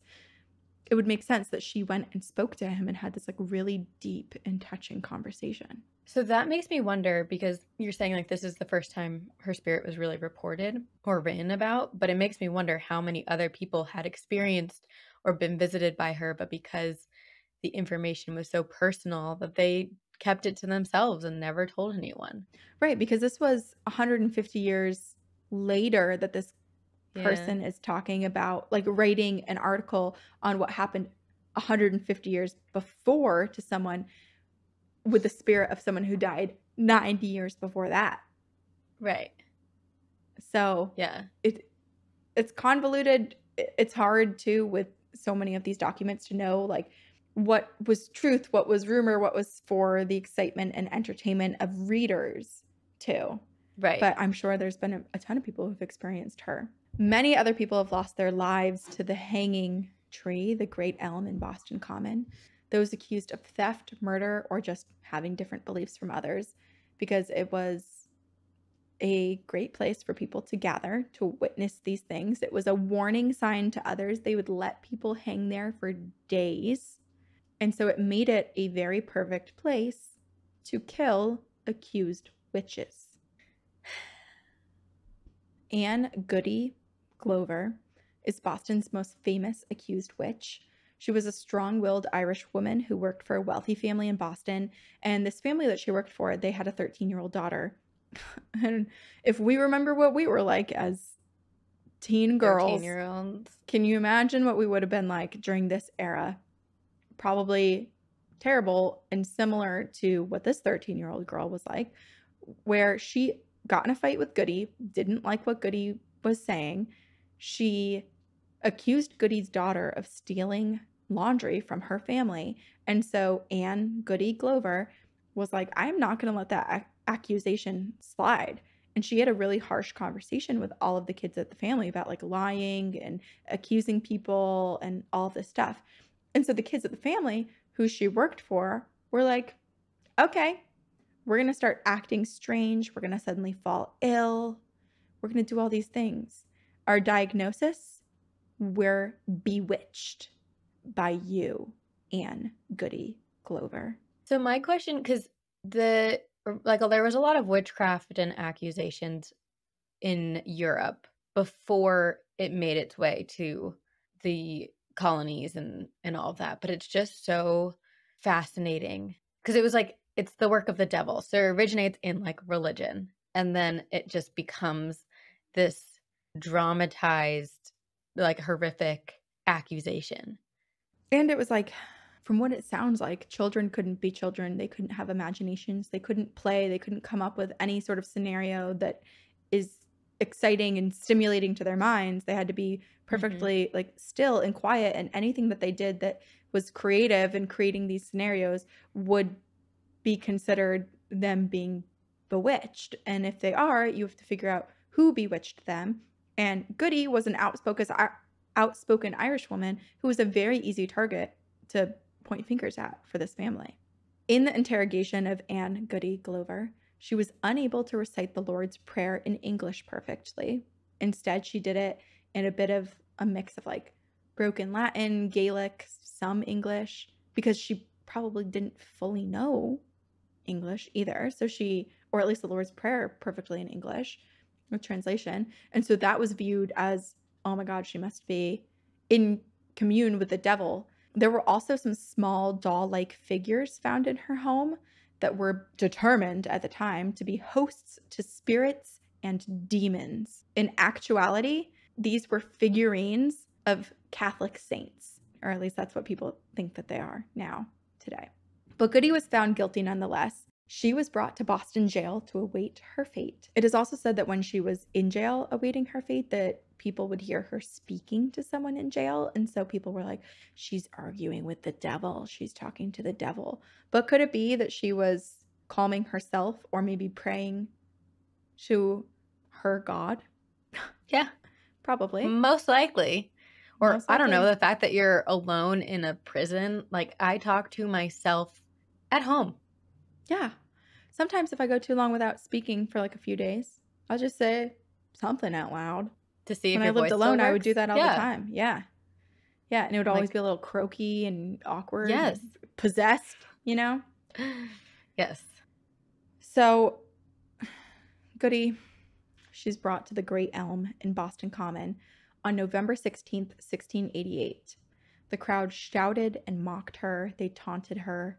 Goody spoke out to the crowd, and what she said, it differs according to various accounts, but generally she gave the same sort of message. And it was basically that death will not fix anything. The children will never be relieved. They've been afflicted. They will remain afflicted. There are more witches. Like, you're fucked, basically, is what she's saying. And they're like, well, who are the witches? And she's like, I'm not giving up any names. But that makes so much sense because if an, if I were in her shoes, I feel like I would almost do the same thing where it's like there's nothing you can do in that moment to stop what is happening to you. You've seen it happen for decades to people before you who had different beliefs who were accused of something. So why not get that one last jab to your accusers? Why not make them fear you even in death? It is interesting because there's also stories we've heard where people who were accused were tortured until they said and like confessed that they were a witch. I do wonder if there's this, you know, psychologically, if there's this aspect of if someone says to you enough, you're a witch, you're a witch, you're a witch, and they're beating you, they're hurting you, they're torturing you, that you do. You're like, I must Start be. believe it. Yeah. Well, there was, I can't remember which psych class it was that I took, but there was a day where we talked about false confessions and they played the tape of this boy who I think was like 10 years old. And the way that the interrogators, the investigators were speaking to him, they basically made him, they tried to get him to confess to killing his sister, his younger sister, who had passed away. And he is completely distraught and believes that he did. Like he at first he didn't kill her and he was innocent, but because of the way that they were speaking to him, he was convinced that he did something horrible to his sister, killed her and just had no memory of it. And so he's super upset trying to like come to the realization that he's this horrible monster and he was convinced of it because of other people's words despite the truth. There's a lot of evidence of that. There are people who get so confused after hours and hours and hours of being questioned that, yeah, you question your own reality. I question my own reality all the time. I know it's hard enough when you have really realistic dreams to understand what's real. I was just thinking of that. I had, waking. yeah, yeah. Every day I'm like, was that real? Did I have that conversation? and like maybe everything's real and we just enter some other world in our dreams so it's just like or the different fake. differentiating between oh god we would totally be brought to the great elm if we were having this conversation back I told you Back in the day. this episode is really making me contemplate some bigger questions about life. So my gosh thank god for therapy couldn't sorry agree more. okay so goody is hung from the tree and she dies she was the very last accused witch killed in Boston, and this was in 1688, three years before the witch hysteria in Salem, Massachusetts. Visitors in Boston Common have reported seeing a woman who appears strikingly similar to what Anne Goody Glover was said to look like. She's a woman in Puritan era clothing. She's crying. She's sometimes heard screaming in agony and just heartbreak, I think. So people are like, this seems a lot like Anne Goody Glover. Some people are like, well, could this be Mary Dyer? But maybe personality wise, they're both pretty headstrong, but it, it might seem like Mary Dyer was a bit more prepared for her life to be taken from her. And while Goody's spirit may still be restless here, Boston has established an official Goody Glover Day in her remembrance, which is November 16th. And there's a plaque in her honor that now reads Not far from here, on the 16th of November, 1688, Goodwife Anne Glover, an elderly Irish widow, was hanged as a witch because she had refused to renounce her Catholic faith. Having been deported from her native Ireland to the Barbados with her husband, who died there because of his own loyalty to the Catholic faith, she came to Boston, where she was living for at least six years before she was unjustly condemned to death. This memorial is erected to commemorate Goody Glover as the first Catholic martyr in Massachusetts. Which is like another thing that's so impressive too. Like she saw what happened to her husband in Barbados when he was killed for Yeah. speaking out in his beliefs and she still I mean there's so many examples of it like it, the Holocaust. You Yeah. know, people people are awful. Okay. Moving on to more awfulness. Yay. Anne Hibbins is another woman whose life was taken simply for speaking her mind. She didn't agree with a carpenter that was working in her house, and so she spoke up about it, and then she was hanged from the great elm. Just like many others, many women who spoke against what was happening and the rule makers, the men. There was eventually a windstorm that brought the great elm down. This happened in 1876. Despite I like to think it wasn't a windstorm. all of the spirits are just shoving that thing to the ground.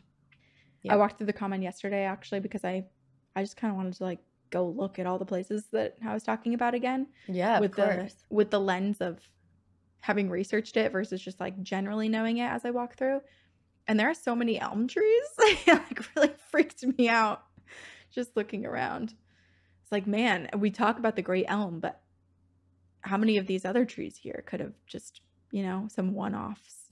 Well, okay, here's a more positive look on that.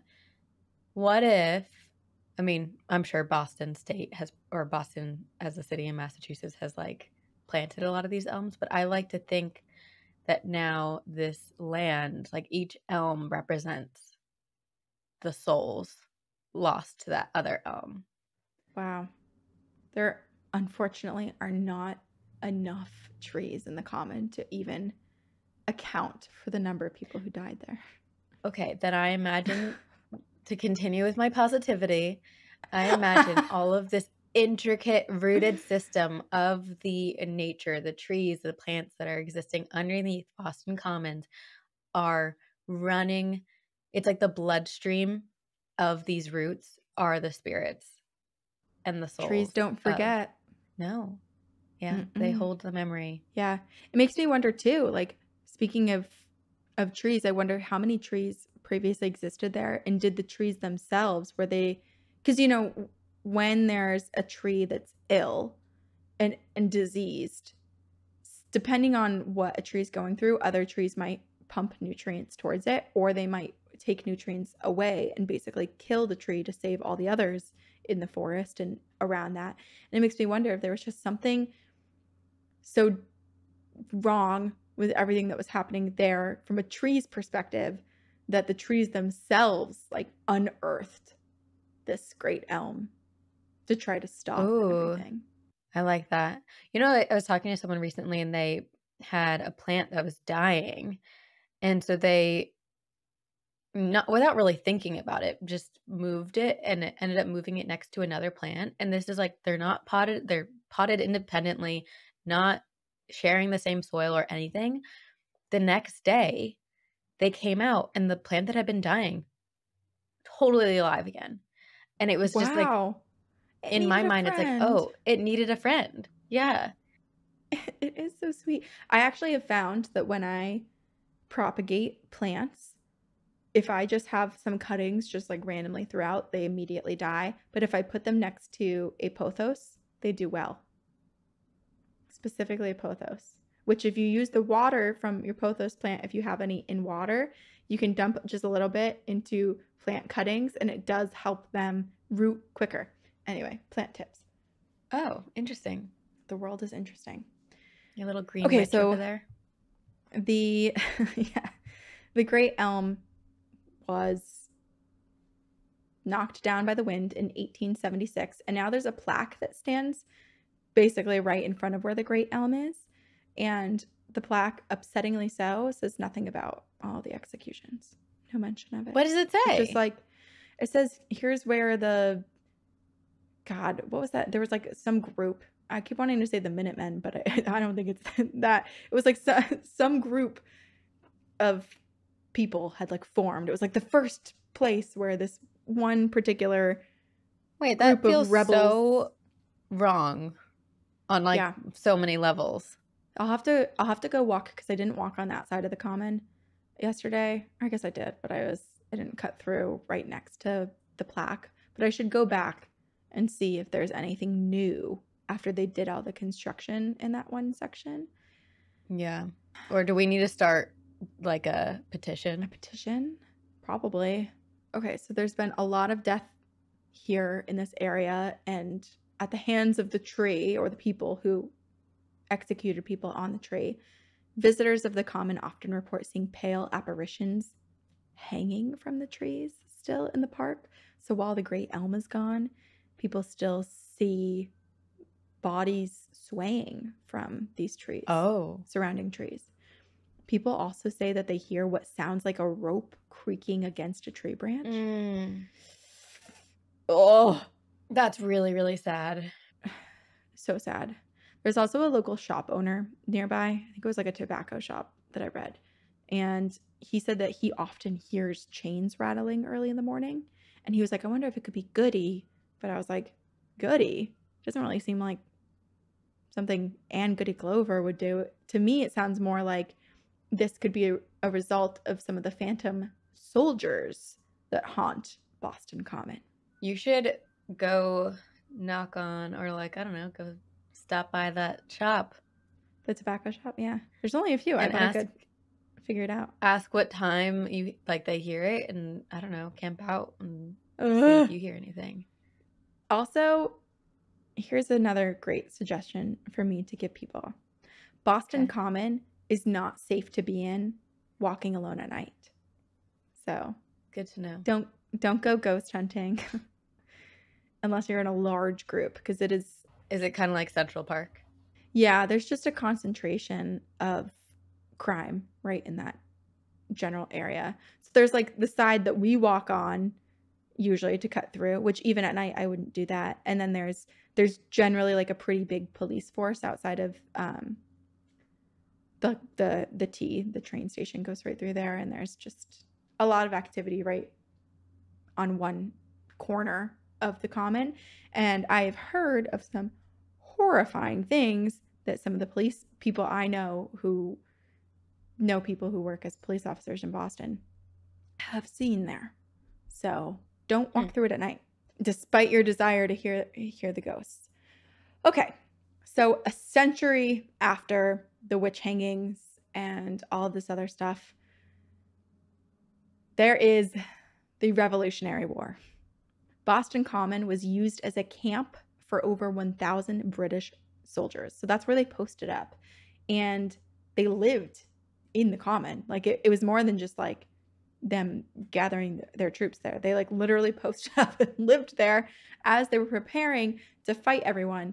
And it was from here, from Boston Common, that the British soldiers split up into, I think it was three different brigades to leave the common and begin their journey west to Lexington and Concord to fight in the Revolutionary War, which Paul Revere, if anyone's a history buff, we know Paul Revere did his midnight ride. He took a boat from the North End to Charlestown, grabbed a, a horse, and then rode out to Lexington and Concord to warn people that the redcoats were coming. The British are coming. Isn't there? I think I recently heard that Paul Revere wasn't alone, that there was another person with him, and no one remembers his name. Oh, probably. I mean, why don't we know the name of the guy that was in the steeple? Like I can I see the steeple too. There's uh the old North Church is literally in the steeple. Like there was the guy who was the lookout who was like, I'll do one lantern if they're coming if the British are coming by sea, one if they're coming one if by no sorry, one if by land, two if by sea, and that influenced how Paul Revere got himself over to Charlestown and to to save everyone. yeah, there's a lot of other people involved. I just googled it. Okay, it says four men and one woman made late night rides alerting the early Americans of what dangers lay ahead. Paul Revere, Samuel Prescott, Israel Bissell, William Dawes, and Sybil Ludington. And this one sentence is funny. It says, while Paul Revere rode into history on April 18, 1775, his fellow rider, William Dawes, galloped into undeserved oblivion. Oh my God. It is also, if anyone's coming to Boston, you can go see one of the lanterns that was hung in the North End. It's in the church that you can go into. And the other one is in Concord, Massachusetts. I've seen both. Okay, so the British, it's this big thing in history now that we know that they came from that area and they were posted up there and it's this whole thing, the Revolutionary War. But there were plenty of British British soldiers that also died in the common because amongst themselves they had rules and laws. And when people committed crimes, fellow British people, soldiers, they would try them, their fellow British men, and kill them, like use the gallows that were in the common. Many people have seen the spirits of these soldiers because they see spirits in this period, appropriate, like period clothing, red coats, like soldiers' uniforms. And there's one particular spot along the common that you may not expect to see a spirit of a soldier, uh, but people do. And it is in the subway station. It is on the T. I thought you were going to say on the carousel. Oh, oh, I wish. the carousel. Oh, man. The carousel is actually very close to where there was the, but how are we describing it? All the like gross sludge, the meat stew, the moist the stew. Moist, the, yeah, moist stew. Moist stew. Yeah. The carousel is like right, right there. so no, but when people it's it's early morning. So only when people are riding the train early morning, they will see sometimes a British soldier dressed in his complete red coat ensemble holding a musket and standing on the tracks. On the tracks. That mm-hmm. must be really unsettling to observe. Yeah. And also very I'm curious about the spirit. Is it residual? Is this spirit momentarily like blips it, gl- glitching, blipping into our timeline. And what do they think? I mean, how confused are they?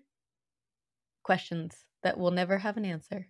It is confusing because also, I mean, I know a lot of Boston's been filled in with landfill, but Boston Common existed and it's not it's mm. not like like this man is appearing 30 feet below earth. So it's not like he was always there unless his unless he was buried there and he's just appearing where he was buried in like a mass grave, you know? After the Revolutionary War, there was another notable execution in Boston Common, and it is the execution of a female pirate. Rachel Schmidt was born in 1760s Pennsylvania and she left home at age 16 because she loved the ocean and she just really wanted to live by the water and so at age 16, she married fisherman George Wall. I have no idea how old George was. The two eventually moved to Boston together. I love Rachel already. You can have Andrew Ranson. I want Rachel. Okay, well, I'll see how you feel at the end of this because I'm kind of back and forth on her because it's one of those things where like if it's true what she did, you you begin to hate her, but then you're also like, well, these history books and and all these people who are accused and executed half of them didn't do what they said they did and there's a lot of sexism and she's a woman yeah so okay excited to learn her more. and george they move. i think they spent some time maybe in like new york city or something like that and then they eventually moved to boston together rachel is working as a maid in beacon hill she seemed quite pleased with her life because she was working on the hill, surrounded by the sea. Life is good. There's marshes. It's beautiful. She smells the ocean air. And they have a really good group of friends. Like she has a thriving social life there. But George wants more for their lives. He's like, yeah, it's fun. It's comfortable. It's beautiful. But where's the thrill? So, at his at his encouragement, George, Rachel, and a group of their male friends, or maybe George's male friends, they together become pirates. They came up with a plan to steal a ship. The Essex was the ship that they stole. It operated near the Isle of Shoals in New Hampshire, which you covered in an episode of years ago. The Isle of Shoals, very haunted place, lots of crime. Um, and the Essex, they stole the ship. It is the vessel that they used to then basically bait other ships in to pirate and steal and murder. So they waited for when they first got this boat, the Essex, they waited for a day when the water when there was a storm rolling in so like the water was churning the sky was dark and gray you could barely tell the difference between what was sky what was ocean and they dressed up the Essex, the stolen ship, like it had been damaged during the storm. And Rachel was the bait. So she would cry. She waved her hands in distress as there was this passing ship coming by. And the ship comes up and they're like, oh my gosh, like her boat looks destroyed. They're like, where's your husband? First question. And she's like, I don't know. He left me. He abandoned me. I'm, I'm out here. She's in total distress. They dock up beside her. They get off to help her and all of the men, her husband included, rush her saviors and they kill those people. They used this strategy 12 times, killing at least 24 people in two years. Okay, here's my question What is the purpose of killing said people? The thrill of killing. Was it truly just that, or like were there was there a booty to be gotten? They could have gotten the booty regardless because most of these ships, it would be like two people on a boat and then a big group of them. They could have rushed them and stole their stuff and left these people alive, but they didn't. How they many of them, them, were on their pirate ship? I don't. I have no idea. Um, okay, but it wasn't. Just but it said it, it, was a group. It was a larger group. Okay, so it was like I, I would guess maybe like six versus two. I don't know what the motive was to kill these people because they. It seemed like in almost every instance they didn't need to. I mean, they never needed to, but no one ever needs to. Yeah, yeah. Unless it's like someone attacking you and you're protecting yourself. Self defense, yes. Karma eventually caught up to George. He drowned in a shipwreck. Rachel was with him, but miraculously, she was saved. She returned to Boston and she went back to working as a maid. But the thrill of crime, you know, she got a little taste of it and she was like, This life is too mundane for me. I can't just work as a maid. So she continued to be a pirate on her own. She became notorious for stealing docked ships in, Bo- in the Boston Harbor. Uh, she was caught many times and she was convicted of petty theft and larceny. And I don't believe she ever murdered anyone on her own. Um, I think it was probably just the male group of pirates she was with who did it before. Uh, but she was always released every time she was caught, she was released but she never really felt dissuaded from continuing with the crimes because she was always released. And so she began to expand. She was now a pirate and a highway robber. On March 18th, 1789, Rachel Wall approached 17 year old Margaret Bender on the public highway in Boston, Massachusetts. Margaret was alone, perfect target, and Rachel approached her, tore her bonnet off of her head, placed Rachel put, placed Margaret's bonnet on her own head, and then took Margaret's shoes and buckles and ran. It was also what a detail. the bonnet is like such a specific, strange choice. Yeah, it's also just like she didn't need to steal any of those. She didn't need to do that. It was like a taunting thing, you know? Yeah. Huh. Big bully move. Yeah. It was also said, and I don't know if this is true, but it's said that Rachel stuck her hand into Margaret's mouth and attempted to yank Margaret's tongue out. Hmm. So, Rachel. Not sure how I feel about Rachel. What's going on? Yeah. Uh, she's caught for doing this. She's sent to jail. And on August 25th of that year, she's found guilty. She admits to her crimes as a pirate, but she denies the murders and highway robbery. So this is one of those things where I was like, I don't know. Like, can we believe her? Do we know? Like, there's no way to know. Yeah. There's no way to know. It's with everyone who was tried at that time. Like we have no idea whether they were male, female, child, adult. We don't know if what they said to have done is what they did. It is interesting that after she, you know, started her own branch of pirating, that there was murder was not a part of it. That does make me wonder if the murder was perhaps more of the men, her husbands, and the other pirates' forte and their choice, and hers was more of the getting what she wanted, which was like, I don't know, people's things. Also, what did she do with the ships that she would steal from the harbor? What would she do with them? I don't know. I don't know. I think maybe Just take them for a just, like, joyride? to say that she could. She probably docked them back up again, just somewhere else. I bet she had the best stories. Oh, I'm sure. It's also hard because, like, let's remember she was married to this man at 16 years old. Like, how much was shaped in her life and of how she behaved as an adult from this marriage and what she was exposed to and what they did when she was young. Governor John Hancock, he signed the order to execute Rachel Wall by hanging. And at the time, the Great Elm was still up. It's not the 1800s. Of course, he signed it. the classic guy in his signature, John Hancock. Thousands of people came to watch Rachel.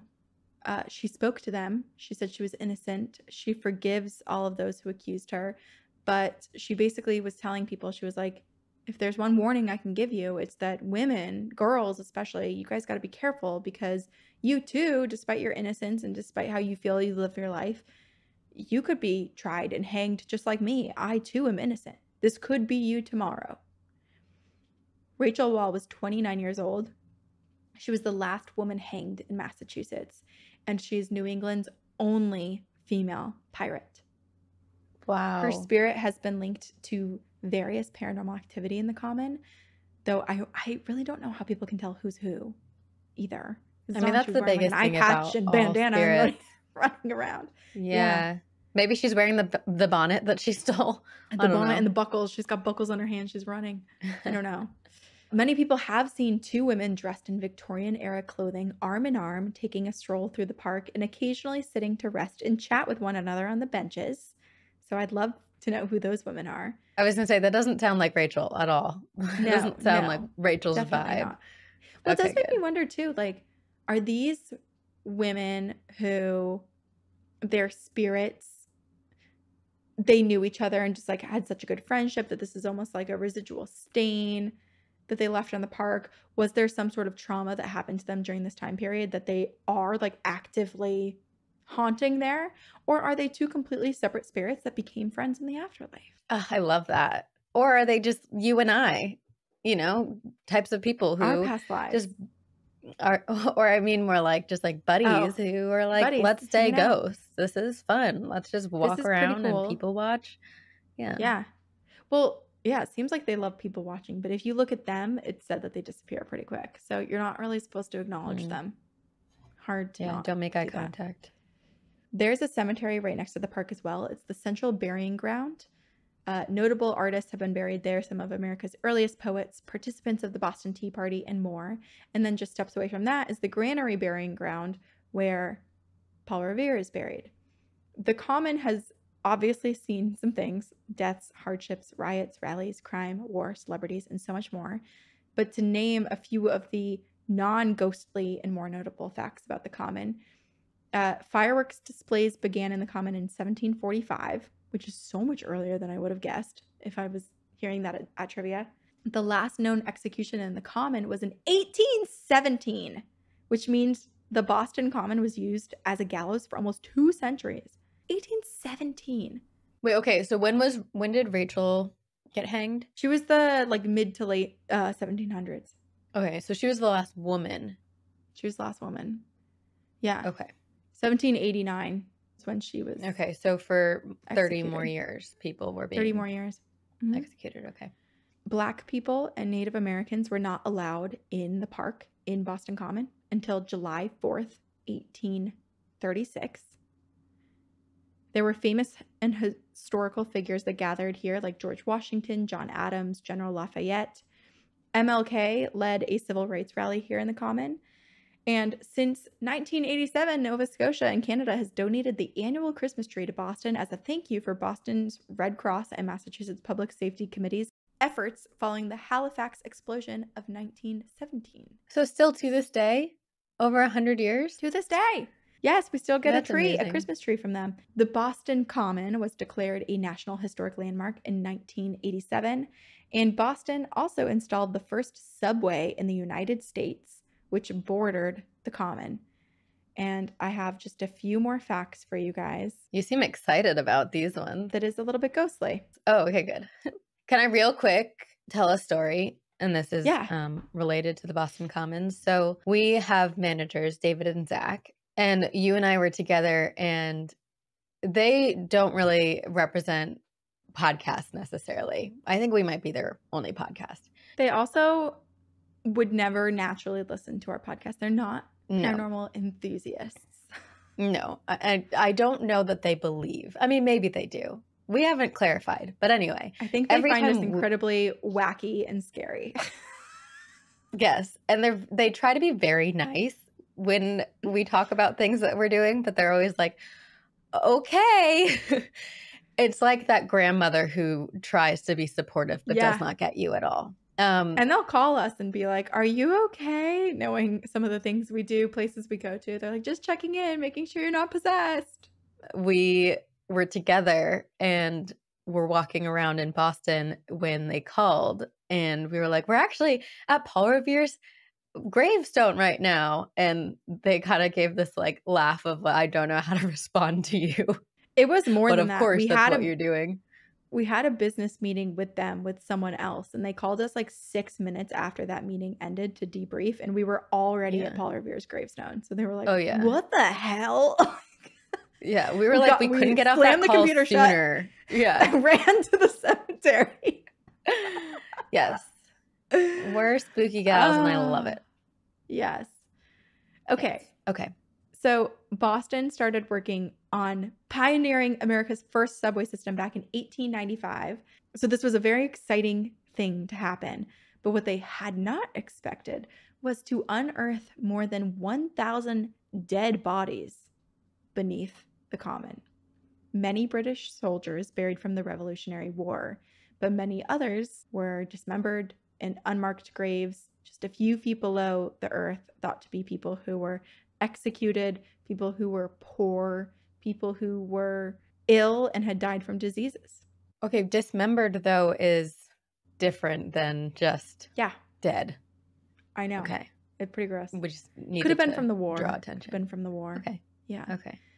A Boston Post article from the Times said, quote, "The work on the Commons is proceeding cautiously as new tombs are met at every step.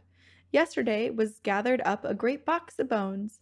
Among the heap were seven skulls, one of them covered in long brown hair." Covered in. Yeah, What- someone still had their hair. Okay, I was picturing like coming out of like all parts of their body. Oh, Like no, no, no. Their skull. Their skull. Okay, okay, okay. But I mean, let's think about that. There's a box of skulls that they unearthed. Like there's just body parts with like every it's all mashed together. People are just being thrown, I guess, underground. All of the bodies that were discovered during this dig were moved to the Central Burying Ground Cemetery. I think some of them were I mean, it was so long after so many people had died that I don't think there was a way to identify most of them and any that were identified if there were living relatives. I think that's a very rare thing, but maybe a few people were moved elsewhere. But the majority of them were brought to the Central Burying Ground Cemetery, which is in the corner of the common, a cemetery within the common. Those over a thousand people, their bones were just dumped right back in one hole together with a single headstone marking the spot. It's difficult, right? Because there's no way to identify these people and you want to give them some type of recognition, but how do you do that? And especially if they're digging up this many, they're probably just trying to do the best they can Totally. with reburying Right. them. I don't what know. more could they do? Like there's no and it's also like a resource thing too. Like how do how do you identify people and it it seems like a very impossible task, but I think some people might have been, but the majority were all put together in one grave. And in that one grave, they were then uh, recognized with a single tombstone. Just as the executions had drawn a crowd to the common, the promise of seeing a dead body being unearthed during this dig did the same, and people flocked to the common to watch the construction project. I do think that's better than watching people actually be executed. Yes, I agree because I will admit, I would never go watch an execution. That is incredibly disturbing to me. I would definitely post up in front of a construction site if I knew bones from people who lived hundreds of years before me were being unearthed. I think if it was something where it's like this could be someone from 20 years ago, that would equally disturb me. But for some reason, the amount of time between me and those people, in my mind, I'm like, yeah, it's my morbid curiosity. I feel like I would be intrigued enough to potentially. It is go. a bit like archaeology and the digs that occur all over the world. A lot of them, they do end up finding remains, and they're very, uh, you know, I don't know how they did it here, but they're very, very careful with how they remove them and try to, you know, retain how they are and find all these incredible old artifacts. You're right. We put we slap the label of archaeology on it, and then It sounds It's professional. it's Legit. Our morbid curiosity is now a profession. Yeah. Um, it's said at this time, unfortunately, people began body snatching. People Okay, were stealing the disturbing. bones of these, yeah, poor people and auctioning them off, which does make me wonder because you know how there was all that drama with like Harvard and various other medical schools that had actual body snatchers and like were grave robbing to get bodies to, I mean, skeletons are expensive. I wonder how many might have ended up just like on display at one of the universities nearby. So I'm like, who's buying these? Well, I guess maybe it, there. Are, a lot of these people are, yeah, very historically significant. So maybe a lot of buyers. In response to all of the interest and concern, and now crime associated with these unearthings, the city placed a large canvas around the construction project to try to shield people from seeing it. But many people, I guess the ones that were less excited about the discovery of these bodies, they raised concerns about a few things. They were like, okay, surely digging up thousands of dead, rotting bodies would pose some sort of health threat, right? Half of them are decaying basically out in the open for short periods of time, like during the construction project. Um, and many of them were people who had died from illnesses and sicknesses. So there was a lot of concern for people's health, the air quality, the plants in the park, because some trees started to die as well. So it was kind of a, I don't know what was going on, but people were like, okay, you can be dazzled and fascinated and disgusted by what's going on, but let's also remember like we we could also be the living could be in danger here as well. So the train station was built.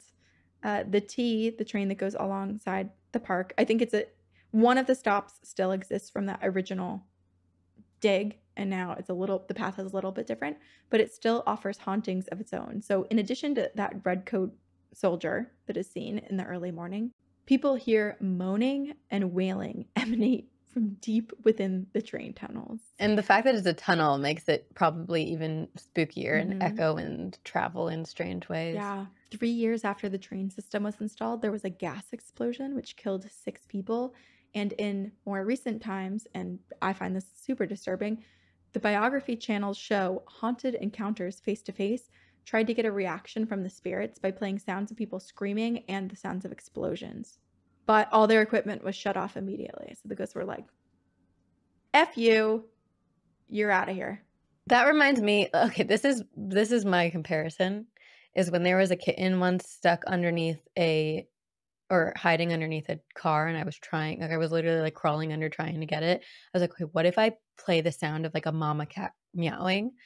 Mm, that and it didn't work. No, but you were doing, you were, what you were doing.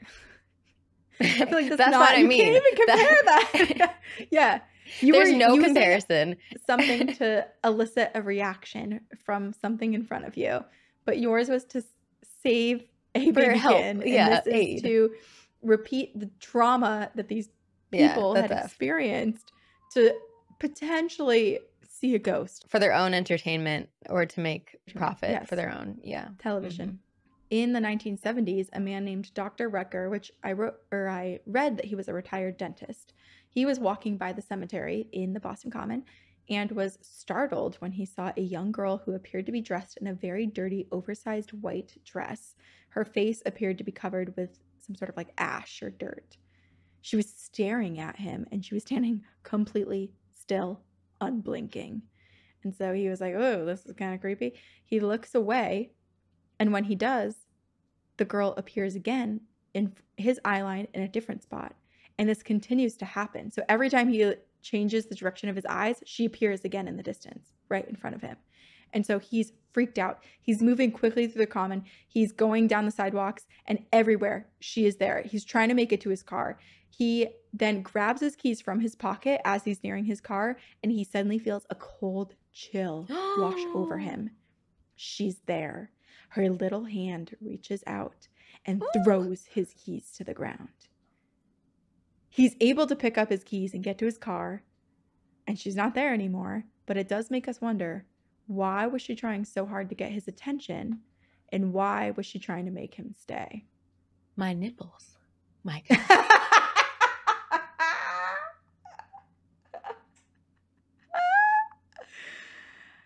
God. Spooky.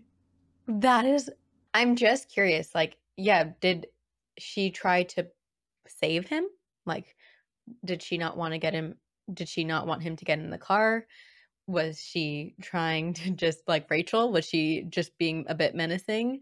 Those are all great yeah, that's- questions because it's all it- it all leads back to us not understanding the other side and what different spirits can go through and what they have access to because it's like yeah was she was she a demon was she just a child who was confused and was like looking for help was she frustrated or did she have some sort of insight into what would happen to him if he got into his car at that particular time that he would have if he hadn't ran to his car because she was freaking him out like so many questions Especially because we often hear, you know, a spirit appearing in your periphery and then disappearing, and that's kind of all you see. But for this spirit to continue to show up in front of him, vision wise, and then all the way to his car and intentionally grab his keys and throw them, like that feels very, very purposeful, but yet mysterious. and in the few reports that I was reading that told this story, it didn't make it sound like she was ever walking. It made it sound like she was just always Poof, just poof, poof. poof, poof, poof, standing and staring and unblinking. And so I feel like it would be even more terrifying the fact that you just keep seeing this little girl who's completely frozen still like a statue, and then suddenly she reaches out and slaps the keys out of your hand. I wish I could do that. Like that would be such a cool superpower just to like blip Uh, wherever you wanted. the blip. Yeah. She's the flash. Yeah.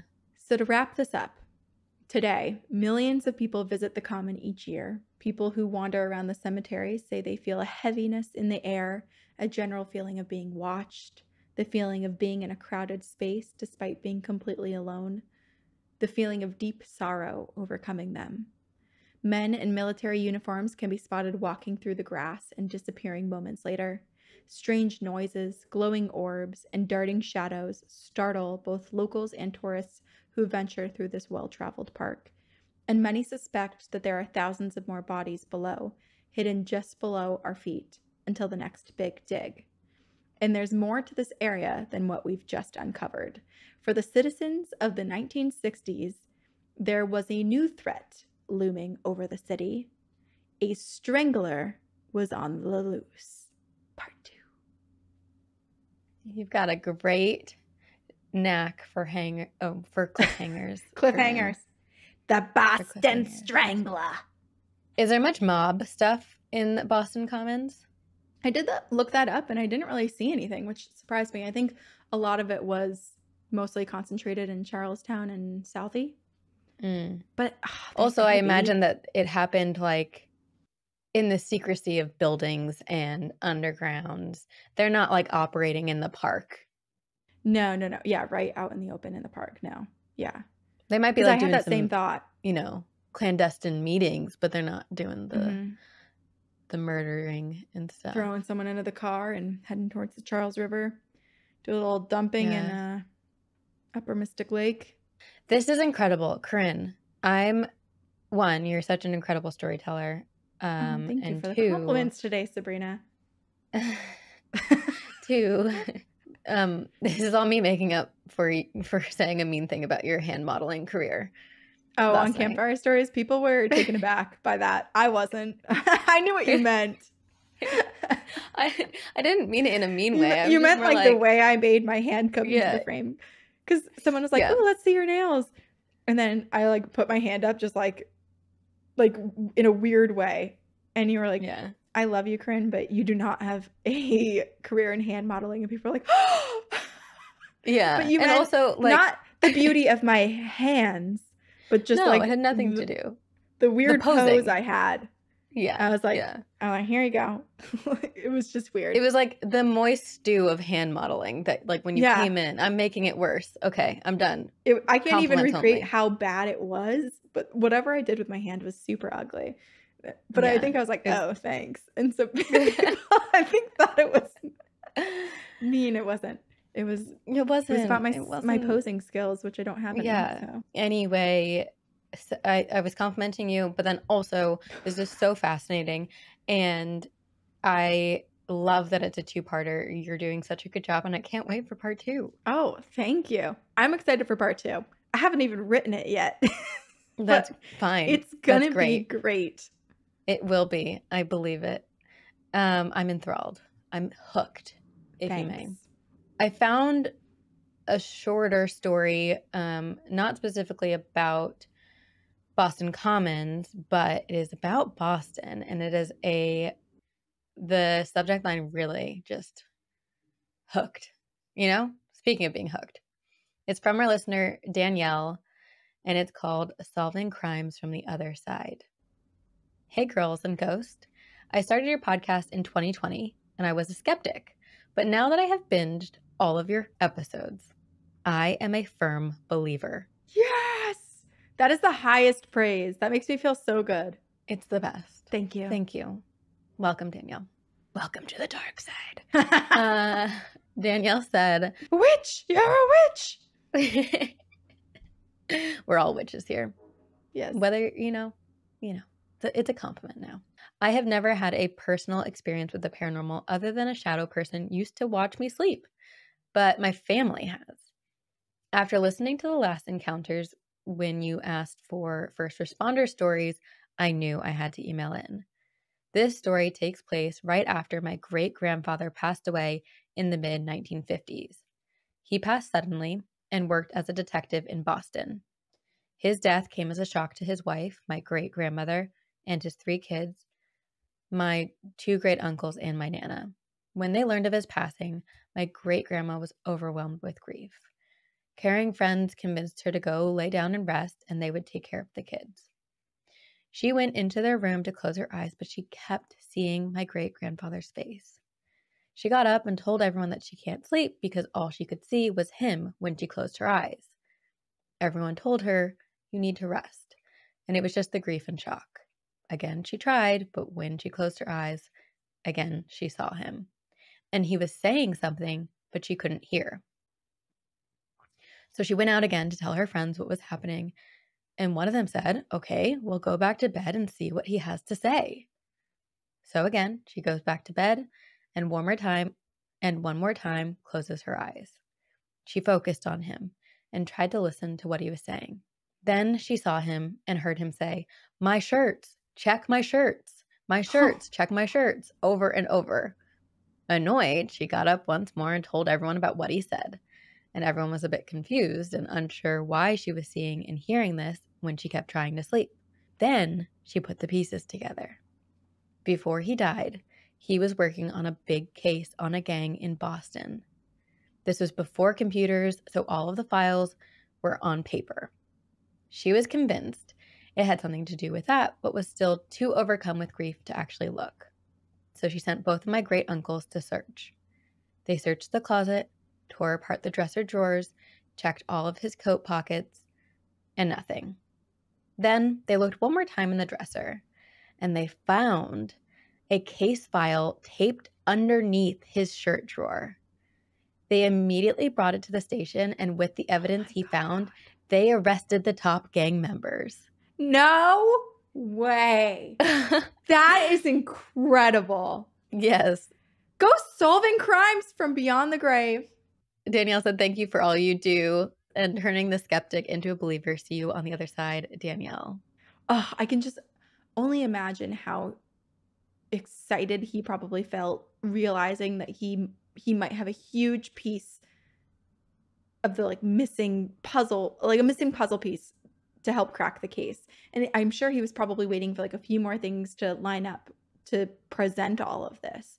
And then when he passed, clearly his spirit was like, "Oh my god, I never got the opportunity to give them what I found. I have to tell someone. I have to have this figured out." Yes, and there's so much to this that we could dive into, but the fact that he you know, I mean it's so tragic that he died so suddenly and there was no real peace for the family and it must be so tragic to have experienced. But for her for him to show up and be so focused on the case Yeah. is Right. is I think It's probably like, telling "Hey, about how are you?" Like, "The case." Yeah. the Check my case. shirts, quick. I only Yeah. have 30 seconds here. But then at the same time, because of the verification that it did solve the case and his message was, you know, founded in truth and they found this, it must have given them some peace to be like, oh, he's okay. He's on the other side. yeah. Yeah. He got to prove multiple things with At just once. one visit. Yes. Yeah. Exactly. Yeah. Wow. I love that. That's an too. amazing and incredible use of spirit power to come back and give the message. And for that message to not feel like gibberish, right? Like they Right. she believed so clear. she went and she searched and Yeah. she found exactly what he was saying, right? Yeah. So Wow. clear. Wow. And I'm glad all the friends were like, just listen to him then. Yeah, yeah. So supportive. Yeah. So nice. Ugh. Well, I'm so excited for part two, Corinne. Boston, baby. Boston. Okay, everyone, we'll see you next week when Corinne again graces our ears with her beautiful voice and her wonderful research. And until then, we'll see you for encounters and campfire stories every Tuesday on Patreon.